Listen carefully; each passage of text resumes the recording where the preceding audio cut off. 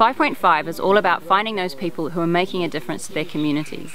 And our latest story has brought us to a tiny little town called Chan Primero on the Yucatan Peninsula in Mexico.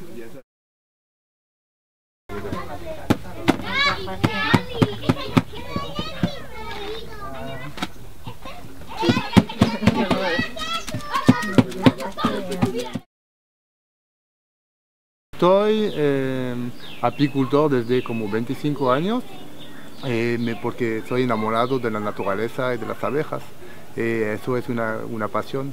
Y cuando llegué aquí, aquí en, el Caribe mexicano, en la península de Yucatán, descubrí una nueva especie de, de abejas que se llama la, abeja melipona, que, que es una abeja que no tiene aguijón, que no tiene veneno, que no tiene agresividad y que produce miel.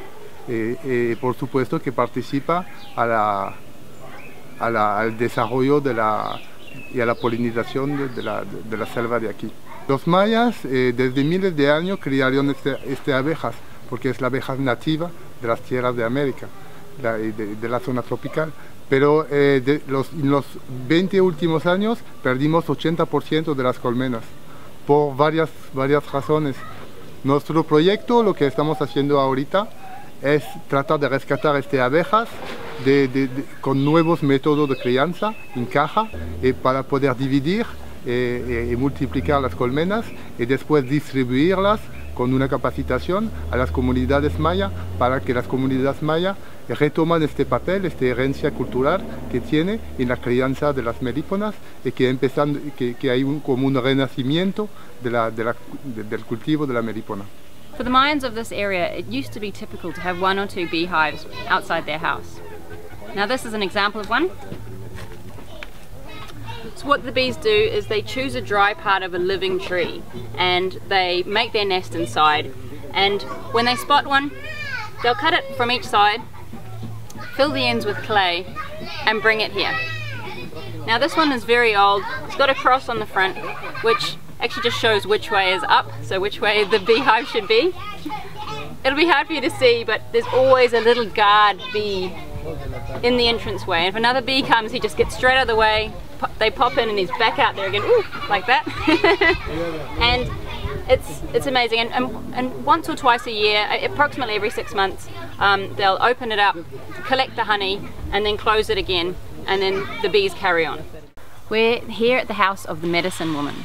And around every house is what's called Mayan solar. And it's a space in which they grow their food and their medicine, in fact, everything they need to survive.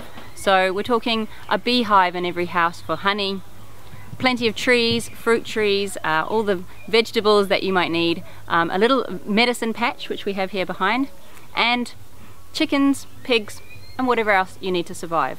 It's all about creating complete sustainability. Here we have hundreds of plants that have been planted specifically for their medicinal purposes. And some of them I recognize, many of them I didn't.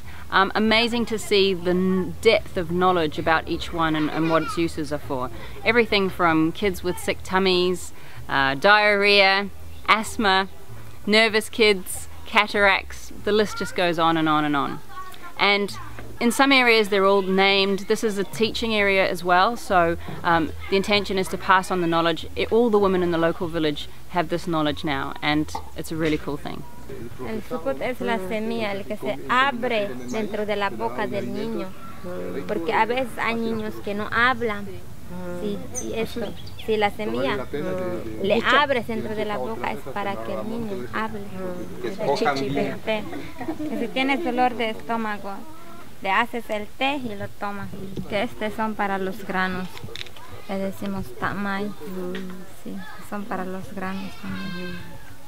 Que se da en la piel. Sí. This is an example of traditional Mayan techniques still in use today. So this is a planting box that is planted several feet off the ground so that animals can't reach it. And here we have growing lettuce and it looks pretty delicious. I'm working with uh, these uh, ladies in agreement that if they do the composta, if they rescue the land, mm -hmm, so I can give her some seeds. Mm -hmm. if, if, they are working the canche, that it's the, the high bed of, of uh, land, mm -hmm, so I can give you more capacitation, more information, more seeds. If you make your work, I can be with you, mhm, working together. mhm. But the decisions are uh, taken by by them. If the people from the cities will know them mhm, and her heart mhm, and the important uh, part of the culture that they represent, they have uh, work. They could have work. They could sell uh, their products uh, well. But people from the cities uh, is not uh, very open. It's it's the beginning, and sometimes because we are going to a green world, mhm, that's the important part that is pushing mhm, people to change. mhm. But uh, some parts of the city, uh, uh, unfortunately, uh, believe that the Mayans are people that has no culture, mhm, and it's one of the five more important cultures of the world.